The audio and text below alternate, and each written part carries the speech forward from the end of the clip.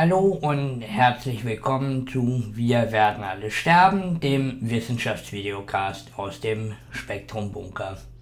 Auf vielfachen Wunsch unserer Zuschauer werfen wir heute einen Blick auf das vielfältigste und reichhaltigste Biotop im Haushalt, nämlich den Kühlschrank. Und natürlich haben wir auch bei Spektrum Kühlschränke und wir haben uns das deswegen nicht nehmen lassen, einfach mal zu überprüfen, was denn so an Mikroorganismen in so einem Kühlschrank wächst. Dazu haben wir uns diese schönen Petrischalen mit Nährboden beschafft, sind in die Küche gegangen und haben von verschiedenen Stellen im Kühlschrank mit einem Wattestäbchen Proben genommen und das einfach mal wachsen lassen. Der Redaktionskühlschrank sah zu Anfang an so sauber aus, dass ich mir durchaus Sorgen gemacht habe, dass wir eigentlich gar nichts finden könnten, aber glücklicherweise hat sich das nicht bewahrheitet. Im Gegenteil. Wer unsere Folge über die Spülmaschine gesehen hat, weiß, dass selbst in einer harschen und wechselhaften Umgebung wie eben der Spülmaschine einige hartnäckige Organismen überleben können. Der Kühlschrank ist im Grunde das genaue Gegenteil. Er bietet gleichbleibende Temperaturen, feuchte Oberflächen und sehr, sehr viele Nährstoffe. Und so ist er eigentlich das perfekte Biotop für alle Arten von Mikroorganismen. Das erste, was man dann im Kühlschrank findet, sind natürlich Schimmelpilze und ihre Sporen, weil Schimmelpilze, das muss man einfach so sehen, die sind überall, auch im Haushalt. Zum Beispiel findet man den Gießkannenschimmel Aspergillus fumigatus, den eigentlich jeder von euch schon mal gesehen hat. Mindestens die Leute, die in einer WG wohnen. Diese Schimmelpilze können durchaus Menschen befallen. Sie bilden dann Kolonien in der Lunge, in den Nebenhöhlen oder auch mal im Gehirn. Ihr könnt mal Aspergillom googeln, wenn ihr mutig genug seid. Aber im Grunde sind diese Pilze vergleichsweise harmlos. Die wirklich gefährlichen Erreger kommen nämlich alle aus dem Reich der Bakterien. Man vermutet, dass in den Industrieländern etwa ein Drittel der Bevölkerung pro Jahr eine Lebensmittelvergiftung bekommt. Und auch wenn wir in den Zeitungen immer über Lebensmittelskandale bei den Herstellern oder bei irgendwelchen Caterern lesen, der Löwenanteil der Lebensmittelvergiftungen geht auf Konto der Privathaushalte. Das heißt, ihr schludert. Und etwa die Hälfte wiederum dieser Lebensmittelvergiftungen in Privathaushalten liegen an schlechter Lagerung. Das heißt, die Lebensmittel liegen zu lange rum oder der Kühlschrank ist eben zu warm. Der Kühlschrank sollte an seiner wärmsten Stelle nicht wärmer als 7 Grad werden, ist er aber meistens.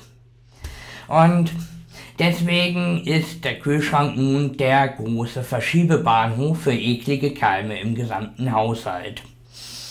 Und zwischen Wurst, Käse und Gemüse wächst dann alle Arten von pathogener Mikroorganismus. Zuallererst natürlich Kolibakterien, weil ihr euch die Hände nicht oft genug wascht und deswegen euren Darminhalt so nach und nach im gesamten Haushalt verschmiert. Das braucht ihr gar nicht zu leugnen, das ist einfach so.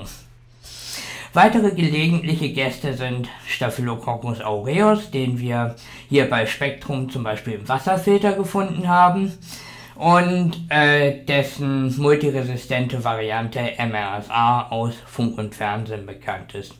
Dazu Yersinia enterocolitica, ein Verwandter des Pesterregers, der bei kleinen Kindern blutigen Durchfall hervorruft in einer britischen Studie aus dem Jahr 2005 haben Forscher herausgefunden, dass diese beiden Erreger in 6 bzw. 1% aller Kühlschränke vorkommen. Es gibt aber Untersuchungen, die auf deutlich höhere Zahlen kommen. Ein weiterer besorgniserregender Gast in unseren Kühlschränken ist Listeria monocytogenes, der Erreger der Listeriose, die in etwa einem Viertel der Fälle tödlich ausgeht. Listeria wohnt normalerweise auf Weichkäse, aber eben auch gelegentlich in Kühlschränken. Äh, in einer griechischen Studie haben Forscher Listeria in etwa einem Prozent aller Kühlschränke entdeckt, was dann auch den Ergebnissen der britischen Studie entspricht. Kurios ist, dass zwei der bedeutendsten Lebensmittelvergiftungserreger in solchen Studien meist nicht gefunden werden. Und äh, das sind einerseits Campylobacter und andererseits Salmonellen. Die sind für einen beträchtlichen Teil der Lebensmittelvergiftung zuständig und deswegen vermuten Forscher, dass diese beiden Erreger tatsächlich in Kühlschränken wachsen, aber in einer Form, die auf diesen klassischen Kulturschalen nicht anwächst und sich deswegen versteckt hält, bis ihr mal die Mayonnaise eine Woche zu lange im Kühlschrank stehen lasst. Welche von diesen Erregern wir jetzt hier in unseren Spektrum-Kühlschränken gefunden haben, äh, das können wir so genau, abgesehen von den Kolibakterien und den leicht zu identifizierenden Staphylokokken, nicht feststellen, denn äh, wir haben kein mikrobiologisches Labor. Andererseits haben wir natürlich auch auf unseren Kulturplatten so viele unterschiedliche bunte Mikroorganismen gefunden, dass wir gar nicht so sicher sind, ob wir das wirklich so genau wissen wollen. Zumal ja einige unserer Funde sogar Tentakel entwickelt haben. Aber macht euch keine Illusionen, der Spektrum-Kühlschrank wird regelmäßig gereinigt, das heißt, was bei uns wächst, wächst garantiert auch bei euch. Mindestens. Ja, und damit sage ich Tschüss und bis zum nächsten Mal bei Wir werden alle sterben, dem Wissenschaftsvideocast aus dem Spektrumbunker. Danke fürs Zuschauen. Er sieht doch auch schon, schon vom ersten Hingucken her infektiös aus.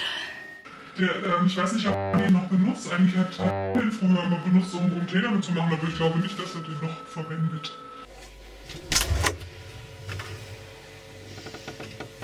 Da können wir ruhig Proben nehmen.